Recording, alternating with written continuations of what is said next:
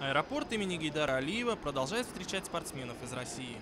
К уже прибывшим в Баку представителям национальной сборной сегодня добавились команды по стендовой стрельбе, боксу, настольному теннису, а также вольной и греко-римской борьбе.